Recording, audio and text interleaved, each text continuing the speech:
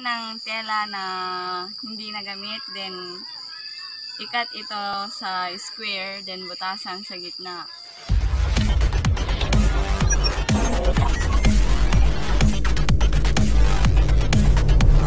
A few moments Tela later. na hindi nagamit, then ikat ito sa square, then butasan sa gitna. Tapos magtimpla na. Hindi ka kumuha ng tela. Lagyan ng pa-square. Tasan sa gitna. Pwede rin namang may design. Ikat mo yung dulo ng tela para may design siya na patusok-tusok. Paghalo ng simento. Game natin mali. So, ito na yung telang nagupitan sa gitna.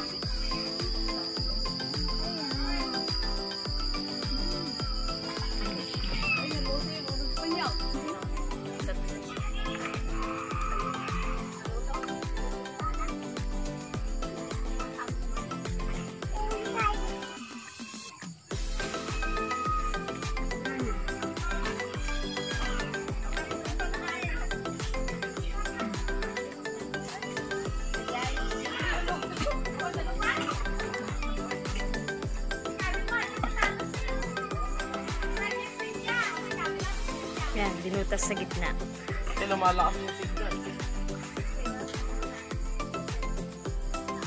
Nagupit ulit sila. Square yung gupitan.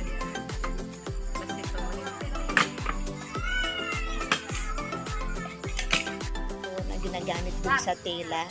Ito na yung semento. Hinahalo-halo na.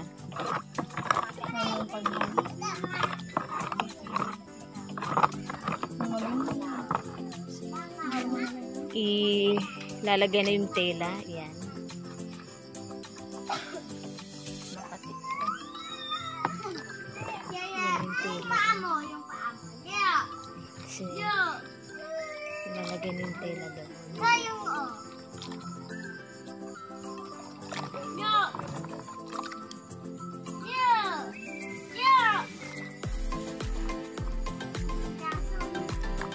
Siya, ba yan? Tapos yan. Pagkatapos yung binasaan yung tela. Ilalagay na dito sa hanggang bukas na.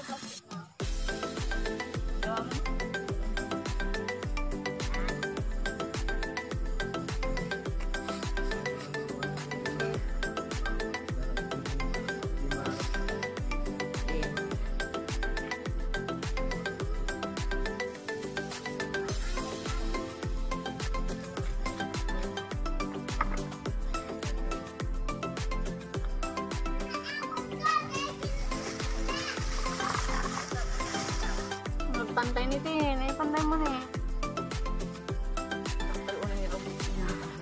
Dapat kailangan pantay. Madi kiwing. Tanan. Takpan lang doon. Dito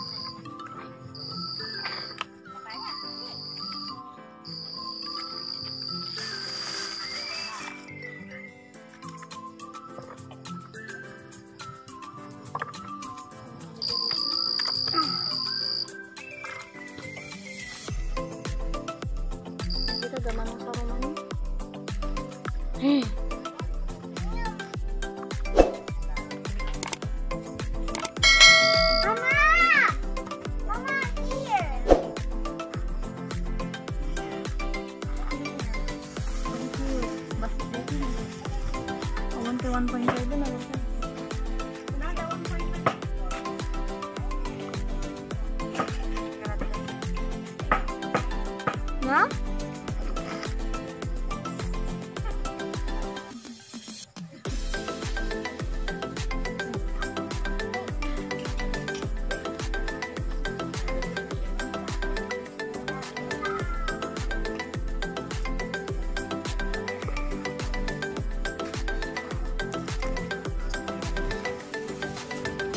bukas na ito.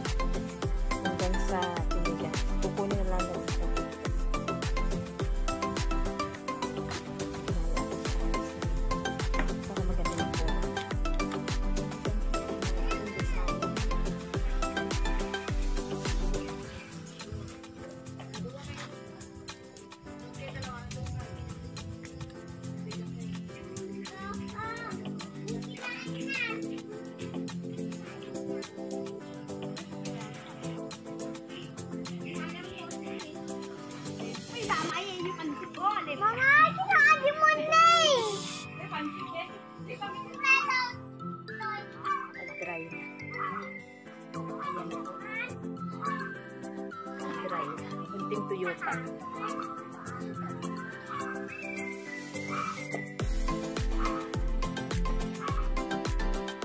So, mamaya, ready na po yan pininturahan.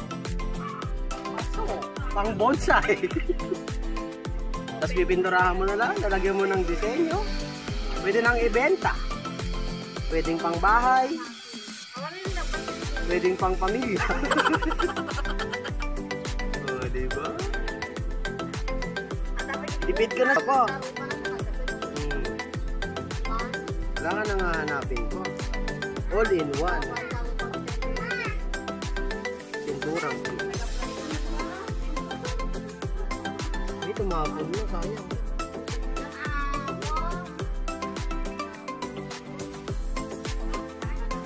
Basong ito ay napakatipid. Simento lang. Wala nang ibang kailangan. Only cement.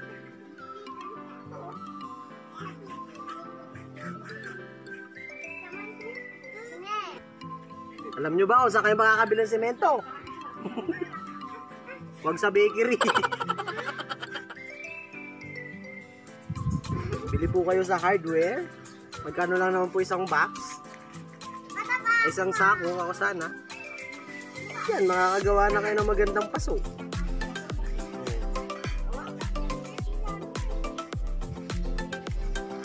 At ito na po ang finished product ng ating paso. Okay.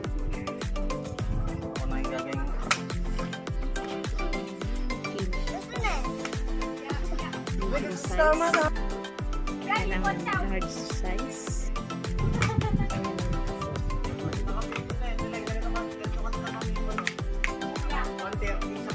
At ito na yung mga finished product nila.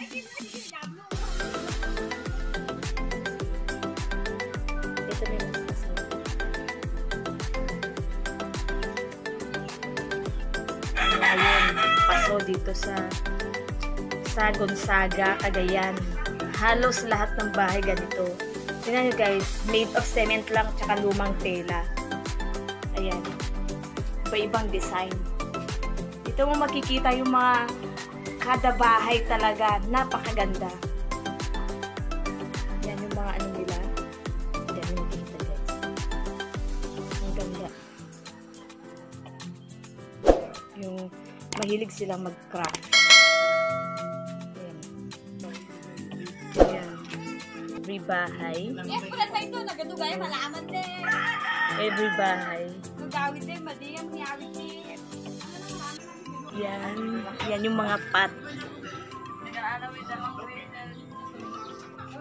Yan yung mga harap ng bahay nila.